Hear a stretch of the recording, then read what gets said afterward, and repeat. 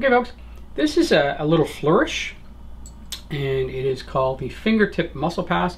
I learned it from Cointopia by Kainoa Harbottle, but I've learned its origins are Homer Lee.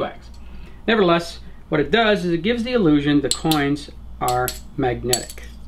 So here's essentially what it looks like as you bring one to the other. It's like the coin magically adheres to the other. Some more time, you see what that looks like. And that's the fingertip muscle pass. The explanation. Okay. And I want to make sure you get a good look at what the finger placement is.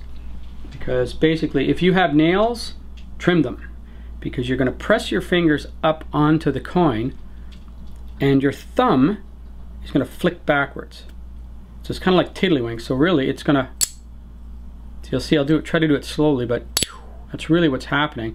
But your fingers actually aren't going forward. It's more the thumb pulling back. And when it pulls back on any of the fingers, that other finger will naturally go forward. So once again, as you see, and I'm going to turn the other way so you can see it this way.